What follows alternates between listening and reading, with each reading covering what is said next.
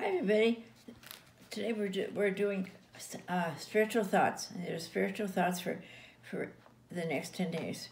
And it will be one day at a time. And remember to take one day at a time.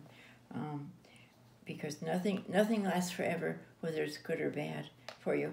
I shouldn't say things do last forever if they're good, but sometimes trying times you're going through, it's just a time to get through. Have a good day.